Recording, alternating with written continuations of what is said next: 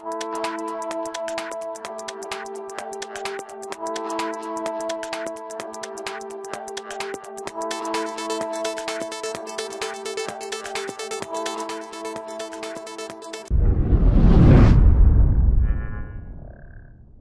পাঁচ সংসদ সদস্যের শপথ নিয়ে অস্তিত্বের সংকটে বিশ দল। বিশ দলকে টিকিয়ে রাখার শেষ চেষ্টা হিসেবে সোমবার বিশ দলের বৈঠক আহ্বান করা হয়েছে। যদিও এই বৈঠকে বিশ দল থেকে সদ্য বেরিয়ে যাওয়ার ঘোষণা দেওয়া আন্দালিব রহমান পার্থর বিজেপি থাকবে না বলে জানা গেছে। তবে বিজেপি থাকুক বা না থাকুক, বিশ দলের অন্য শরিকরা উপস্থিত থাকবেন। এই বৈঠকে বিশ দলের একাধিক শরিক তারেক জিয়ার বিরুদ্ধে অনাস্থা আনবেন বলে জানা গেছে। এ কারণেই আগামীকালের বৈঠকে তারা থাকবেন বলে জানা গেছে। সংশ্লিষ্ট সূত্রগুলো বলছে, কর্নেল অবসরপ্রাপ্ত অলি আহমেদের নেতৃত্বাধীন এলডিবির পক্ষ থেকে বিশ দলের বৈঠক জানতে চাওয়া হবে তারেক জিয়া কে এলডিবি কর্নেল অবসরপ্রাপ্ত অলি আহমেদ মনে করেন, তারেক জিয়া বিএনপির ভাইস চেয়ারম্যান হতে পারেন, কিন্তু বিশ দলের নেতা তিনি নন। তার মতে বিশ দল গঠিত হয়েছিল খালদা জিয়ার নেতৃত্বের উপর ভিত্তি করে। বেগম খালদা জিয়াই বিশ দলের নেতা। শুধু কর্নেল ওলি নন, বিশ দলের একমাত্র জামাত ছাড়া অন্য কোনো দলই তারেক জিয়ার নেতৃত্ব মেনে নিতে পারছেন না। তারা মনে করছে তারেক জিয়াকে এখন বিশ্বাস করা কঠিন হয়ে পড়েছে। বিশ দলের অনেক নেতাই মনে করেন, বিএনপি বিশ দল এবং ঐক্যফ্রন্টকে ব্যবহার করে তারেক জিয়া বিপুল অঙ্কের টাকা হাতিয়ে নিচ্ছে।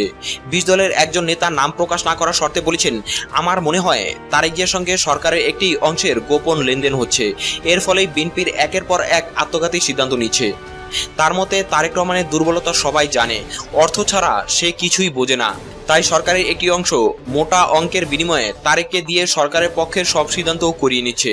তার সঙ্গে একমত পোষণ করে বিশ দলের আরেক নেতা বলছেন, বিশ দলকে রেখে কীভাবে ঐক্যফ্রন্ট হলো, কীভাবে বিএনপি অর্থহীন সংলাপে গেল, কীভাবে কোনো দাবি আদায় ছাড়াই নির্বাচনে যাওয়ার সিদ্ধান্ত নিল। লক্ষ্য করবেন, প্রত্যেকটি বিষয়ে তারেক তার একক ক্ষমতা প্রয়োগ করে দলের ওপর সিদ্ধান্ত চাপিয়ে দিয়েছিলেন। এসব কোনো সিদ্ধান্তেই দলের সিংহভাগ নেতৃত্ব একমত ছিল না। বিশ দলের আরেক নেতা বলেন, বিশ দলকে শুধু সাইনবোর্ড হিসেবে ব্যবহার করা হয়েছে। সব সিদ্ধান্ত বিএনপি বা তারিক জিয়া গ্রহণ করে। বিশ দলে এসে অনুমোদন করিয়ে নিয়েছেন। সব সিদ্ধান্ত বিএনপি বা তারিক জিয়া গ্রহণ করে বিশ দলে এসে অনুমোদন করে নিয়েছেন। বিশ দলের অন্যতম শরিক, জামাত অবশ্য তারিক জিয়ার ব্যাপারে এত কঠোর নন। তবে জামাতের একজন নেতা বলেন, বিশ দলের বৈঠকে সিদ্ধান্ত হয়েছিল যে বিশ দল সংসদে যোগদান করবে না, শপথ নিবে না। তাই বিএনপি যখন সিদ্ধান্ত নিল যে তারা শপথ নিবে, তখন বিশ দলের বৈঠকে তা আলোচনা করা উচিত ছিল।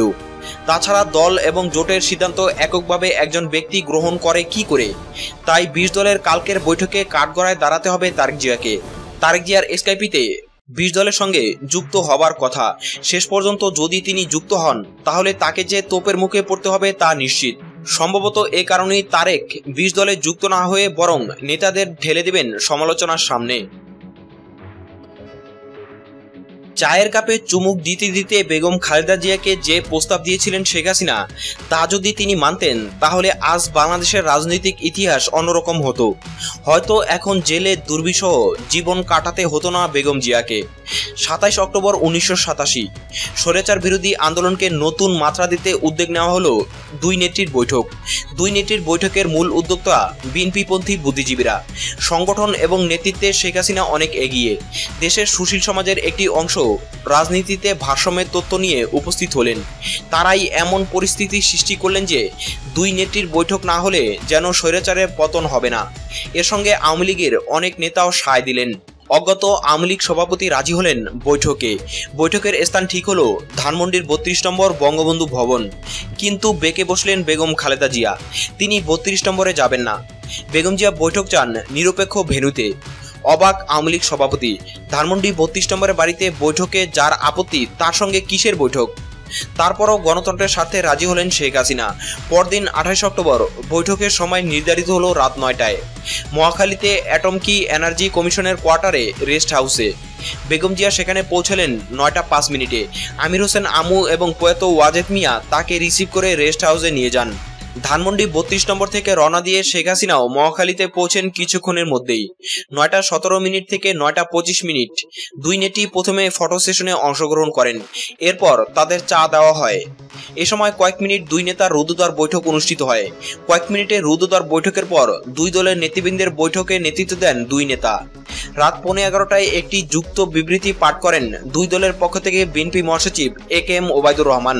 কিন্তু শেখ হাসিনা এবং বেগম খালদা জিয়ার মধ্যে নয়টা সতেরো থেকে নয়টা পঁচিশ মিনিট পর্যন্ত একান্তে কি কথা হয়েছিল, দুজনই বিভিন্ন সময়ে এ প্রসঙ্গে তার ঘনিষ্ঠজনদের কিছু জানিয়েছেন।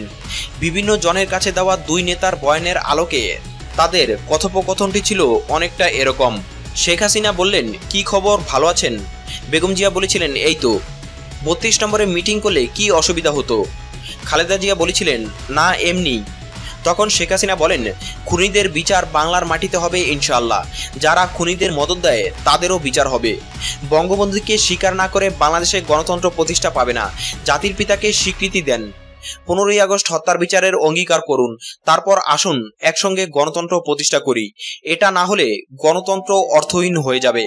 বেগম জিয়া বললেন, চলুন, ওরা অপেক্ষা করছে। এরপর দুজন বেরিয়ে আসেন এবং নেতৃবৃন্দুকে নিয়ে আনুষ্ঠানিক বৈঠক শুরু করেন। শেখ হাসিনার ওই প্রস্তাব গ্রহণ করলে কি বাংলাদেশের রাজনীতির আজ এরকম হতে পারত?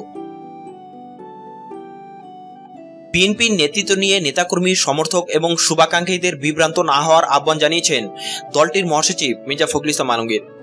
তিনি বলেন, মিডিয়া, প্রচারণা এবং অন্যান্য ব্যবস্থার মধ্যে দিয়ে জনগণ ও নেতাকর্মীদের মধ্যে বিভ্রান্তি তৈরির চেষ্টা চলছে। বিশেষ করে সোশ্যাল মিডিয়ার মধ্যে দিয়ে আমাদের দলের মধ্যে বিভ্রান্তি সৃষ্টির কাজ শুরু হয়েছে। শুক্রবার জাতীয় প্রেস ক্লাবে আয়োজিত এক আলোকচিত্র প্রদর্শনী উদ্বোধন ও আলোচনা সভায় প্রধান অতিথির বক্তব্যে তিনি এ আহ্বান জানান। মির্জা ফখরুল ইসলাম আলমগীর বলেন, বিভ্রান্ত হবেন না। মনে রাখবেন, আমাদের নেত্রী বেগম খালেদা জিয়া।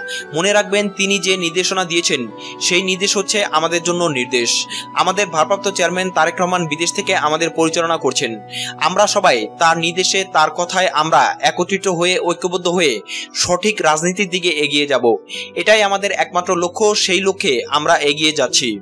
গভীর চক্রান্তের শিকার হয়ে বেগম খালেদা জিয়া কারারুদ্ধ আছেন অভিযোগ করে বিএনপি মহাসচিব বলেন, তিনি কেন কারারুদ্ধ আছেন? কারণ দেশনেত্রী বেগম খালেদা জিয়া হচ্ছেন গণতন্ত্রের প্রতীক। তিনি যদি আজ বেরিয়ে আসেন, তাহলে এরা নিশ্চিন্ন হয়ে যাবে। জনগণের যে স্রোত, যে উত্তাল তরঙ্গ সৃষ্টি হবে, সেই তরঙ্গে তারা ভেসে যাবেন। এজন্য তাকে আটক করে রাখা হয়েছে, কিন্তু তাকে আটকে রাখা যাবে না। এই জনগণ তাকে মুক্ত করে আনবে। জনগণের যে আবেগ, সেটাকে কাজে লাগিয়ে অবশ্যই তাকে মুক্ত করে আনতে পারব বলে আমাদের বিশ্বাস, বলেন মির্জা ফখরুল ইসলাম আলমগীর। তিনি আরও বলেন, আজকে বাংলাদেশের অস্তিত্ব বিপন্ন হয়ে পড়েছে। বাংলাদেশ স্বাধীন সার্বভৌম থাকতে পারবে কি পারবে না?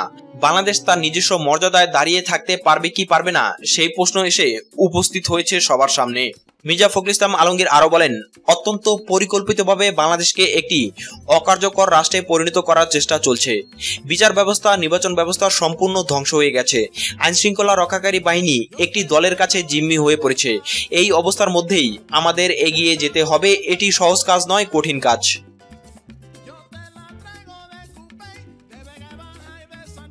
দুর্নীতি মামলায় কারাবন্দি বিএনপি চেয়ারপারসন খালেদা জিয়াকে দেশের জনগণই মুক্ত করে আনবে বলে মন্তব্য করেছেন দলটির মহাসচিব মির্জা ফখরুল ইসলাম আলমগীর। শুক্রবার জাতীয় প্রেস ক্লাবে বিএনপি চেয়ারপারসন বেগম খালেদা জিয়ার তিন যুগ পূর্তি উপলক্ষে এক আলোকচিত্র প্রদর্শনীর উদ্বোধনী অনুষ্ঠানে তিনি এ মন্তব্য করেন। মির্জা ফখরুল বলেন, খালেদা জিয়া হচ্ছে গণতন্ত্রের প্রতীক। তিনি যদি আজ মুক্ত হয়ে বেরিয়ে আসেন, তাহলে সরকার নিশ্চিন্ন হয়ে যাবে। জনগণের যে স্রোত, যে উত্তাল তরঙ্গ সৃষ্টি হবে, সেই তরঙ্গে সরকার ভেসে যাবে। তিনি বলেন এজন্য খালেদা জিয়াকে আটক করে রাখা হয়েছে, কিন্তু তাকে আটক করে রাখা যাবে না, জনগণ তাকে মুক্ত করে আনবে। বিএনপি মহাসচিব বলেন, অত্যন্ত পরিকল্পিতভাবে বাংলাদেশকে একটি অকার্যকর রাষ্ট্রে পরিণত করার চেষ্টা চলছে। এই অবস্থার মধ্যেই আমাদের এগিয়ে যেতে হবে, এটি কঠিন একটি কাজ। এ সময় দেশবাসীকে ঐক্যবদ্ধ হওয়ার আহ্বান জানান মির্জা ফখরুল। তিনি বলেন, আপনারা বিভ্রান্ত হবেন না। আমাদের নেত্রী বেগম খালদা জিয়ার নির্দেশে এবং ভারপ্রাপ্ত চেয়ারম্যান তারেক রহমানের পরিচালনায় ঐক্যবদ্ধভাবে সঠিক রাজনীতির দিকে এগিয়ে যেতে হবে আমাদের।